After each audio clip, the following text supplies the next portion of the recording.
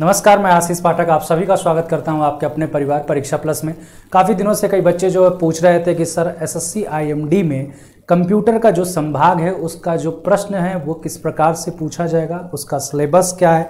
Syllabus तो आप लोग ऑलरेडी दे रखा था, लेकिन क्या जो सिलेबस में दिया है, वो इतना डीप क्वेश्चन भी बनता है?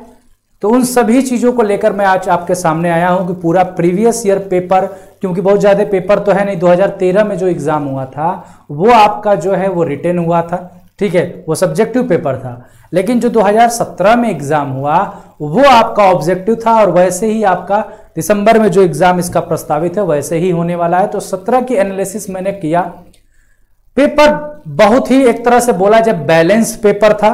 उसमें अगर कहा जाए तो 100 क्वेश्चन में आपके जो सब्जेक्ट का मैं बात करूँ कि एमसीक्यू में, अगर कंप्यूटर का आप उस सौ क्वेश्चन में जनरल से आप थोड़ा सा कंप्यूटर बैकग्राउंड से हो। जैसे आपने बीसीए किया हो बीएससी कंप्यूटर किया है भला ही नहीं आपने पढ़ा है तो आप बिना कुछ पढ़े लिखे चले जाओगे तो मुझे ऐसा लगता है कि 45 प्लस करके आओगे। ठीक है? जनरल सा पूछता है जो और भी कंपिटेटिव एग्जामों में जो क्वेश्चंस बनते हैं, उतना 40 से 45 वहाँ से उसके बेसिस पर आप अगर पढ़े हो तो करके आ जाओगे। तो चलिए, एक बार मैं इस पर डिस्कस करूँगा कि सिलेबस क्या है, क्वेश्चंस कैसे बने थे, कहाँ से सबसे ज़्यादा क्वेश्चन बने थे, किस पार्ट को आप पढ़ लो तो आपका सिलेक्शन हो जाएगा। ठीक है तो आगे बढ़ने से पहले एक बार सभी लोग वीडियो को शेयर और लाइक ज़रूर कर दें, और चैनल पे जो बच्चे नए हैं, वो चैनल को सब्सक्राइब ज़रूर कर लें।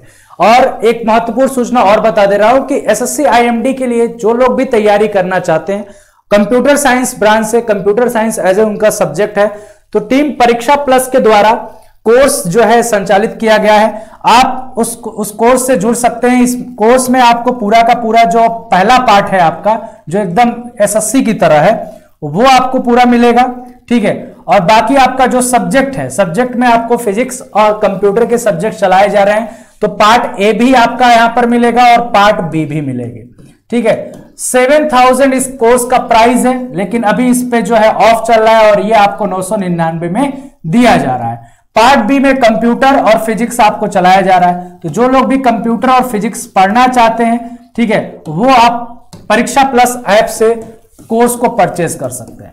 Pariksha plus app play store से डाउनलोड करिए और वहाँ से आप एस एस का बैच ज्वाइन कर सकते हैं। ठीक है, क्लासेस आपके स्टार्ट हो चुकी हैं। क्लासेस का मोड कुछ ऐसा रहेगा कि देखिए, समय आपके पास कम है तो सबसे ज़्यादा ज़रूरी होता है कि क्वेश्चन पे आप ज़्यादा फोकस करो। किस प्रकार के क्वेश्चन?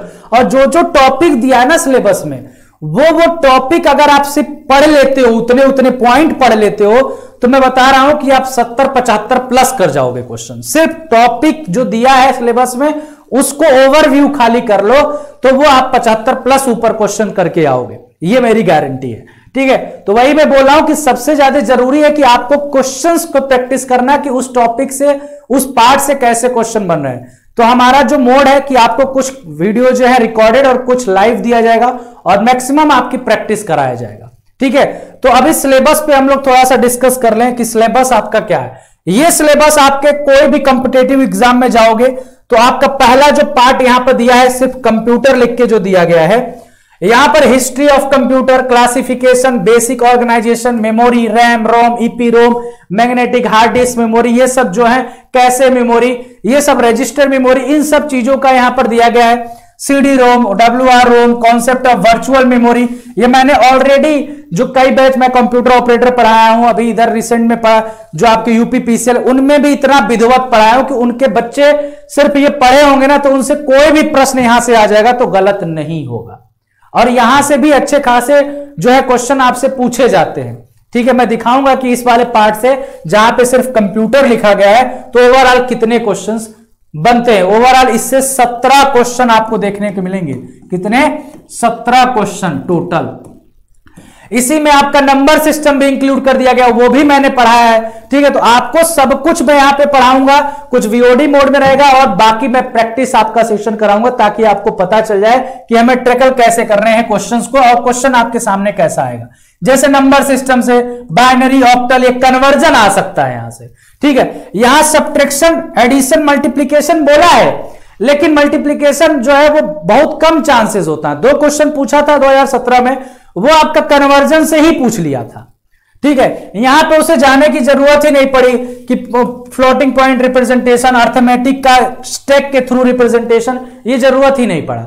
यहीं से आपका एक दो क्वेश्चन बन जाएगा। तो टोटल सत्रह से हम बात करें कि सत्रह से बीस क्वेश्चन ये टॉपिक आपको देगा अच्छे से। ठीक है? तो ये आपको जनरल किसी भी कंपिटेटिव एग्ज़ाम की आप तैयारी कर रहे हो, जहाँ कंप्यूटर पूछा जा रहा है तो वहाँ से भी ये तैयार हो जाएगा।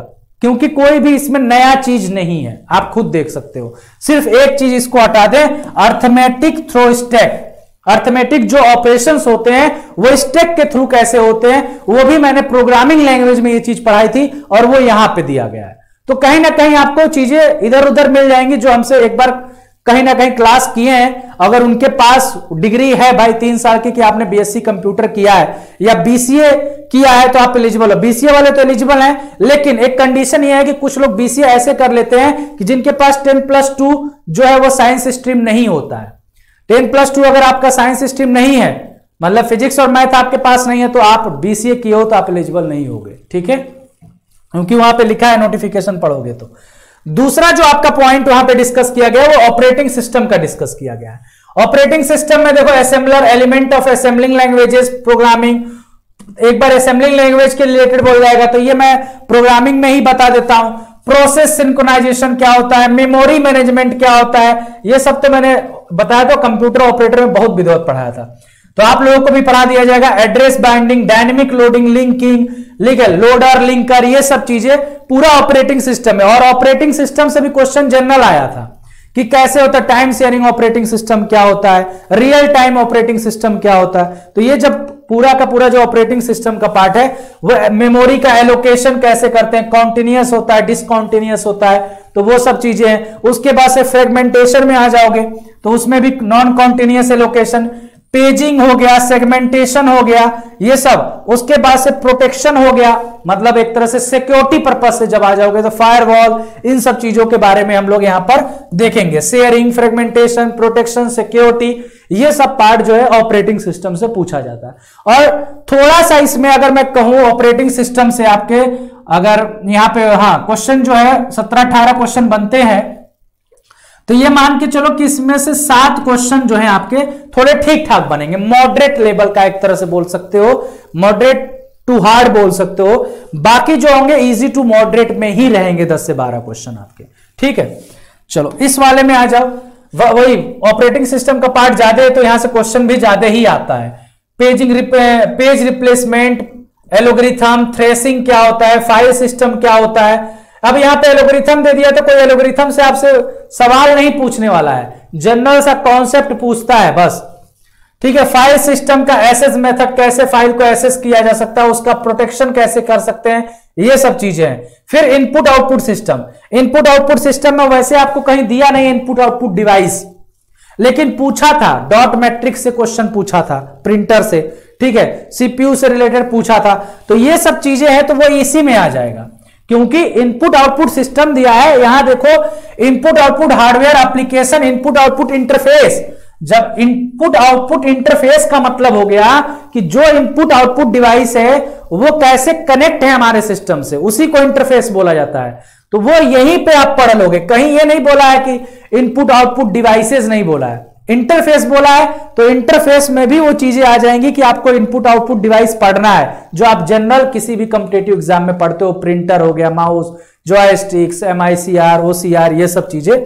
फिर कर्नल इनपुट आउटपुट सिस्टम जो कर्नल है ऑपरेटिंग सिस्टम का पार्ट होता है। कर्नल एक सॉफ्टवेयर होता है, पूरा ऑपरेटिंग सिस्टम मैनेज करता है। तो कर्नल का क्या रोल होता है? इनपुट आउटपुट डिवाइसेस के साथ, वो आपको यहाँ पे समझना है। उससे related performance secondary storage structure क्या होता है? प्रोटेक्शन क्या है? गोल डोमेन एसएस मैट्रिक्स यहाँ से एसएस मैट्रिक्स से क्वेश्चन पूछा था।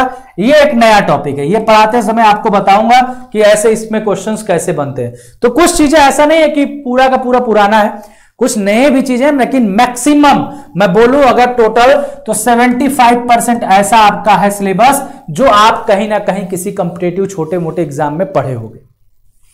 आ जाओ। हाँ असेंबलर की बात करें तो असेंबलर जो होता है, भाई, जो असेंबली लैंग्वेज होता था, उसको कन्वर्ट करने के लिए असेंबलर बनाया गया था। तो उससे कुछ चीज़ें और ये थोड़ा सा नया है। बाकी हम बेसिकली असेंबलर के बारे में उतना जान जाते हैं कि असेंबली लैंग्वेज को मशीन लैंग्वेज में कन्वर्ट करता है। उसके डिटेल में नहीं जाते। थोड़ा यहाँ डिटेल में जाना पड़ेगा कि ये लैंग्वेज प्रोग्रामिंग है, उसका ओवरव्यू लेना पड़ेगा, इसका डिज़ाइन ऑफ़ लो पास यहाँ से क्वेश्चन पूछा था लो पास से। सिंगल पास डबल पास जो होता है, यहाँ से पूछा था। ऑथेंटिकेशन थ्रेट थ्रेट मॉनिटरिंग क्या होती है, वो सब चीज़ें आपको यहाँ पे ये भी ऑपरेटिंग सिस्टम से ही पार्ट है। असेंबलर अभी देखे आए थे ना आपको कि ऑपरेटिंग सिस्टम में ही होता है। कॉम्प्लेक्स इंस्ट्रक्शन सेट और रिड्यूस इंस्ट्रक्शन सेट जो प्रोसेसर होता है, वो आपके क्या होते हैं, वो असेंबलिंग लैंग्वेज में ही उसके अंदर इंस्ट्रक्शन लिखे होते हैं। तो उसको समझने के लिए हमें क्या करना पड़ेगा? इस असेंबलर को अच्छे से पढ़ना पड़ेगा। उसके बाद से फंडामेंटल प्रोग्रामिंग लैंग्वेज में यूनिक्स प्रोग्रामिंग लैंग्वेज हो जाए, चाहे डॉस हो जाए, चाहे लाइनेक्स हो जाए, सब में कहीं ना कहीं चीज़ें कॉमन होती हैं। ठीक है? तो मैंने डॉस पढ़ा है लेनेक्स पढ़ा है तो यूनिक्स भी आपको समझ में आएगा। फॉर्टेन आपको पढ़ाना पड़ेगा, लेकिन इससे क्वेश्चन नहीं पूछा था एग्ज़ाम में। फोर्टेन लैंग्वेज से आपसे पूछेगा भी तो ये पूछेगा किस लिए यूज़ होता है। इसकी कोई प्रोग्रामिंग बहुत कम चांसेस है प्रोग्रामिंग पूछेगा भाई, क्योंकि ये यूज़ ही नहीं होता है। फ्रोट्रान की प्रोग्रामिंग किसी एग्ज़ाम में पूछा ही नहीं जाता। है ये पूछेगा कि किसके लिए यूज़ किया गया था, कब इसको बनाया गया था, किसने बनाया था, क्या पर्पस था इसके बनाने के पीछे तो वो सब पूछ सकता है। फिर उप्स का कॉन्सेप्ट आएगा ऑब्जेक्ट ओरिएंटेड प्रोग्रामिंग लैंग्वेज बीच में आपका सी लैंग्वेज है तो सी से भी एक क्वेश्चन पूछा था कि फ़ंक्शन को कैसे हम डिफाइन करते हैं। वाइड मेन जो होता है मेन फ़ंक्शन उसको आप, उसका डिक्लेरेशन पूछा था। ऑब्जेक्ट ओरिएंटेड प्रोग्रामिंग लैंग्वेज से पूछा था। एक कॉन्सेप्ट से था इनकैप्सुलेशन जो होता है उस पे क्वेश्चन था। डाटा एब्स्ट्रक्शन से क्वेश्चन हो सकता है लेकिन इनकैप्सुलेशन से पूछा था कि क्या होता है जो डेटा और फ़ंक्शन को दोनों बाइंड रख, रखता है उस टर्म्स को क्या कहते हैं? तो इनकैप्सुलेशन कहते हैं। सी प्लस प्लस में उप्स के कॉन्सेप्ट वही मैंने बोल दिया। जावा में भी मैक्सिमम आपके उप्स के ही कॉन्सेप्ट यूज़ होंगे। बेसिक्स ऑफ़ कंपाइलर कंपाइलर के बारे में पूछे कंपाइलर का वर्क क्या होता है, कैसे काम करता है कंपाइलर जब कंपाइल करने के बाद कौन सी फ़ाइल बनाता है, फिर वो लिंकर लोडर के थ्रू जो है आपके ऑपरेटिंग सिस्टम में कैसे लोड होता है तो वो जनरल सी चीज़ें हैं, जो आपको विधिवत तरीके से मैं पढ़ा रहा हूँ। ठीक है? डाटाबेस मैनेजमेंट सिस्टम में आते हैं। ये डीबीएमएस सिस्टम है। यहाँ पे आपको एसक्यूएल के बारे में थोड़ा सा और जो है आरडीबीएमएस के बारे में। सबसे ज़्यादा इसके बारे में आरडीबीएमएस और आरडीबीएमएस पढ़ने के लिए आपको यहाँ पे एक चीज़ से छुटकारा है। कहीं भी आप माइक्रोसॉफ्ट ऑफ़िस नहीं पढ़ोगे, लेकिन माइक्रोसॉफ्ट ऑफ़िस का एक पार्ट आपको यहाँ पे आरडीबीएमएस पढ़ने के लिए मतलब डेटाबेस मैनेजमेंट सिस्टम पढ़ने के लिए माइक्रोसॉफ्ट का एमएसएसएस पढ़ना ज़रूरी है। तो वो मैं आपको पढ़ा दूँगा। ठीक है? लेकिन एक्सेल पावर पॉइंट पढ़ने की ज़रूरत नहीं है क्योंकि वो आपके सिलेबस में नहीं है, वहाँ से प्रश्न नहीं आएगा। ठीक है? आप पेपर दिखा दूँगा मैं आपको पेपर जिसको नहीं मिला हो, आप कमेंट करना पेपर आपको जो है, जो बैच है वहाँ पे प्रीवियस ईयर पेपर लगा दिया गया है।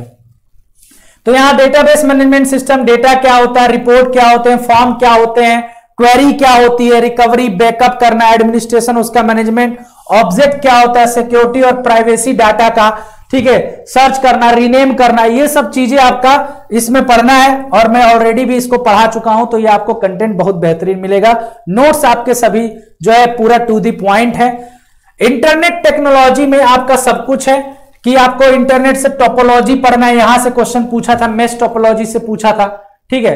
उसके बाद से आपका यहाँ पे आ जाओ क्लाइंट सर्वर एप्लीकेशन से नेटवर्क राउटर ब्रिज से पूछा था आईपी एड्रेसेस से क्वेश्चन पूछा था।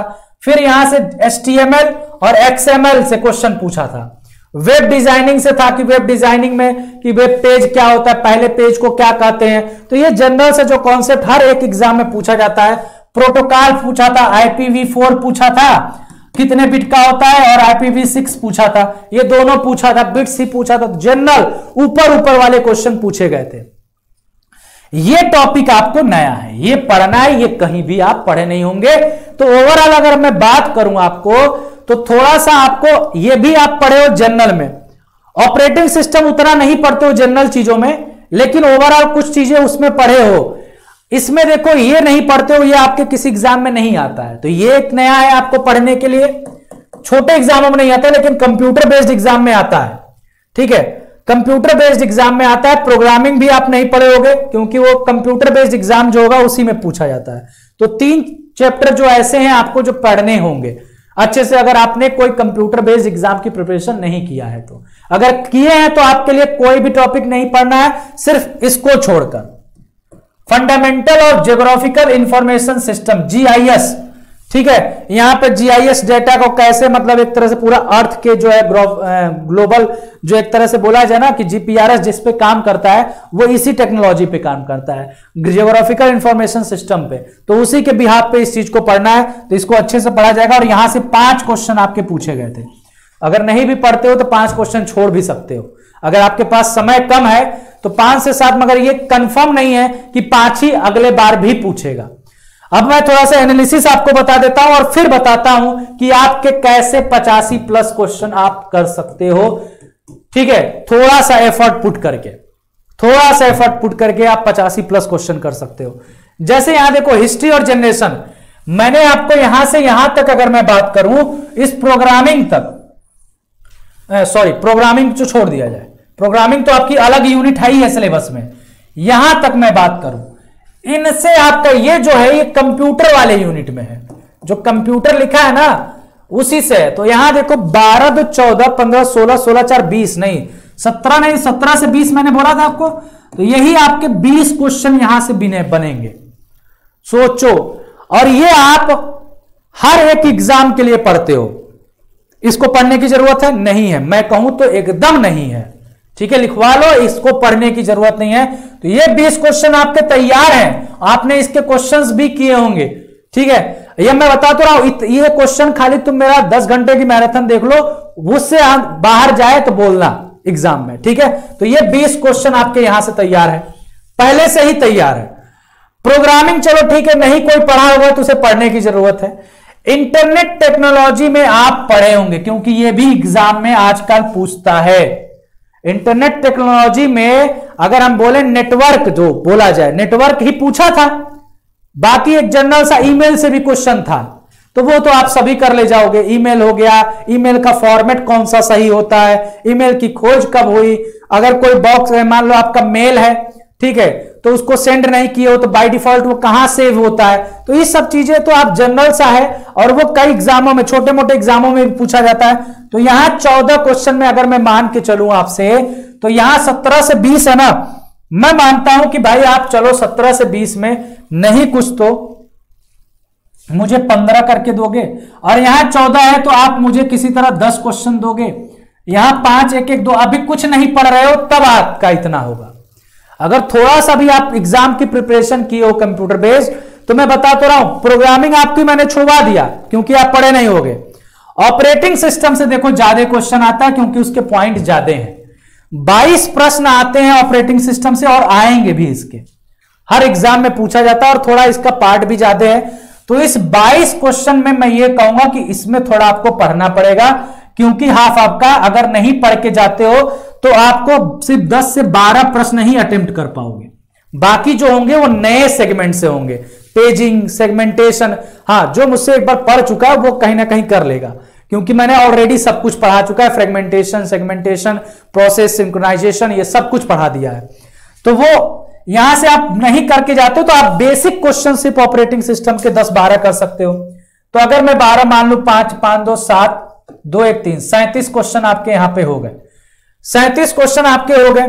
डेटाबेस के भी आप जनरल सा यूज़ होता है क्वेरी वैल्यू सब वाला इनपुट आउटपुट सिस्टम से है।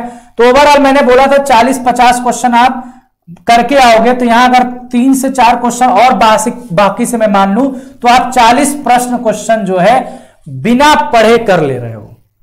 बिना पढ़े मतलब आप कोई भी वनडे एग्ज़ाम की प्रिपरेशन किए हो तो आप 40 प्रश्न कर ले रहे हो बस उसके नॉलेज पर। एक यूनिट तो आपकी पूरी की पूरी वही है। मतलब 20 क्वेश्चन तो वही पूरा है। और यहाँ पर ये भी दोनों यूनिट में अगर मैं बात कर रहा हूँ तो 10 10 20 क्वेश्चन और है। तो यहीं से 40 क्वेश्चन तो आपका यहीं बन जा रहा है। हाँ इनमें से देखो कम कम क्वेश्चन है इनपुट आउटपुट सिस्टम से छह क्वेश्चन है असेंबलर से तीन है डाटाबेस से सोलह है। एक इसको अच्छे से पढ़ने की ज़रूरत है, क्योंकि यही टर्निंग पॉइंट है। तो अब यहाँ पर वो आता है कि दो चीज़ें, आपको एक पांचवा जो है प्रोग्रामिंग वाला है और एक डाटाबेस है। अभी आप सिर्फ़ दो चीज़ों से 40 क्वेश्चन पे पहुँचे हो कंप्यूटर वाला और इंटरनेट और ऑपरेटिंग सिस्टम तीन टॉपिक से।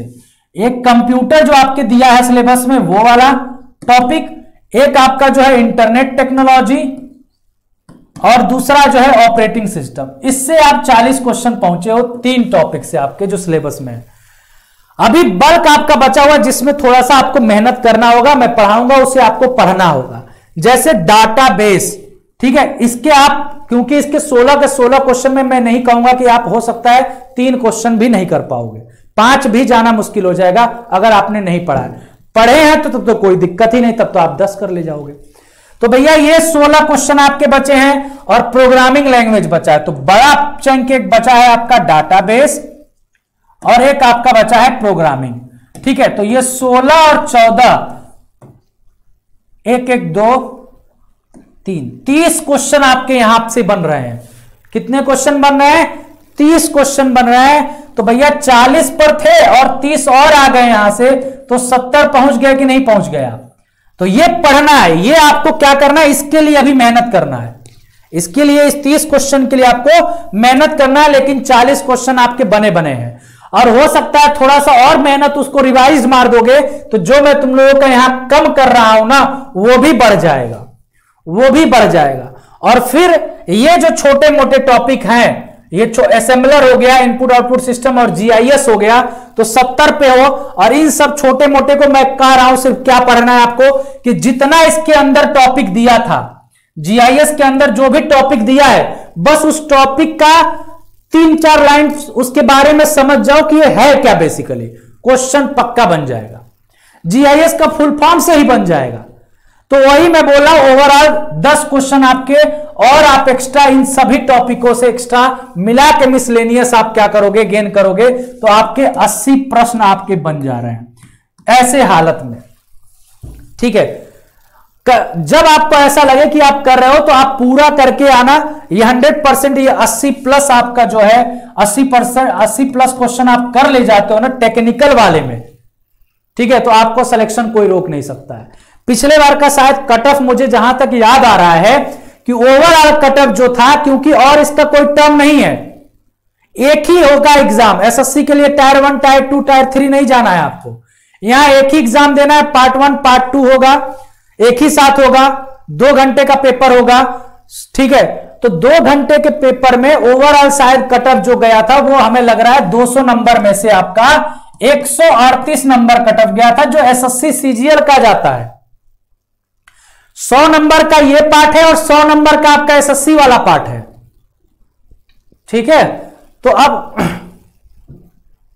सौ नंबर का जो आपका एसएससी वाला जो पार्ट है, जो आपका इंग्लिश हो गया, रीजनिंग हो गया, ठीक है?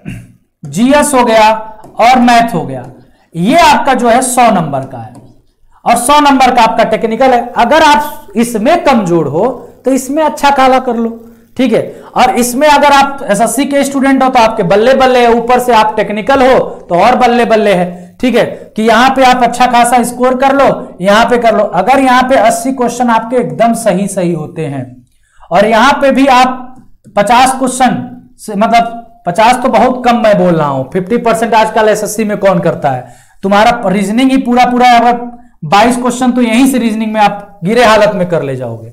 मैथ है, बीस क्वेश्चन गिरे हालत में कर ले जाओगे। तो बयालीस क्वेश्चन तो यही होगा क्योंकि आप टेक्निकल बच्चे हो। तो ये तो आपकी कभी गड़बड़ नहीं होगा। ठीक है? उसके बाद से आपका जीएस बचा और इंग्लिश बचा। इंग्लिश भी अच्छी खासी तो ओवरऑल अगर आप यहाँ से सत्तर, पचहत्तर क्वेश्चन भी कर ले जाते हो तो डेढ़ सौ से ऊपर जाओगे। बाकी नॉर्मलाइजेशन होगा। ठीक है? तो ये आपका है मिनिमम का मैंने बोला। मिनिमम का बोला कि 155 प्लस आप करके आओगे। जब आप मेहनत करोगे, जब मैं आपको पढ़ाऊँगा और आप पढ़ोगे तो यह क्या अस्सी ही रह जाएगा? नहीं, ये अस्सी नहीं, जो मैंने इतने में से आपको छह, तीन, नौ नौ, पाँच, चौदह, पंद्रह में से और ऊपर से जो छोड़े हुए हैं, उनमें से आपको मैंने दस क्वेश्चन सिर्फ़ दिया है। तो वो क्वेश्चन आपके बढ़ के पंद्रह से सत्रह क्वेश्चन आप कर सकते हो वहाँ पर।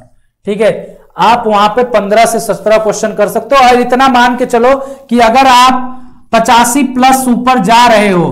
पचासी से नब्बे के बीच में यहाँ पर टेक्निकल में कर रहे हो। तो श्योर एंड सर्टेन है भैया, एकदम फाइनल सिलेक्शन और पोस्ट ऐसा नहीं है।